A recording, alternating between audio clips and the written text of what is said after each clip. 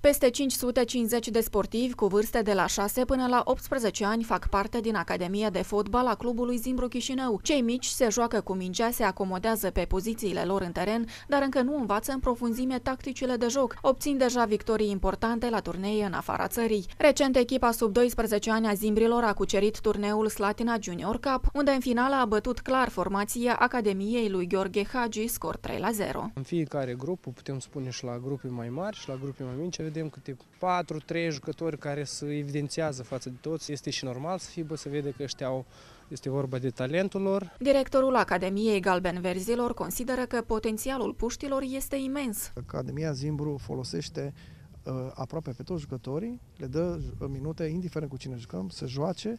Important pentru noi copilul să joace. Copiii au mulți ani de academie în față, dar deja se gândesc să joace pentru echipa mare a clubului Zimbru, în divizia națională, mai ales că știu deja despre rivalitatea cu șerif, joacă periodic împotriva copiilor de la Tiraspol. Încercăm de fiecare dată să uh, luăm victoria acasă, ca să fim cea mai bună echipă din Moldova. Ei sunt rivali mari, câteodată câștigăm și câteodată pierdem.